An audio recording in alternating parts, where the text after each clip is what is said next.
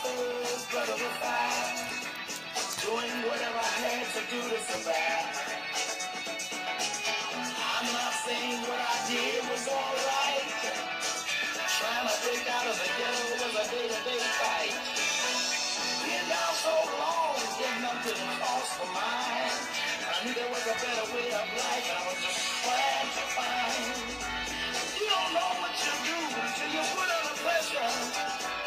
Cross 110th Street is a hell of a tester. Across